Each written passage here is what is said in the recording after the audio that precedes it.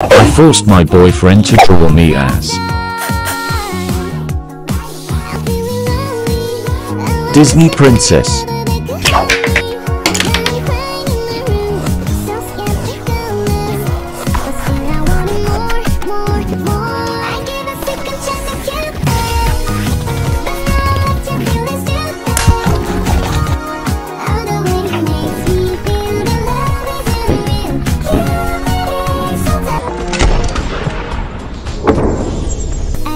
this era.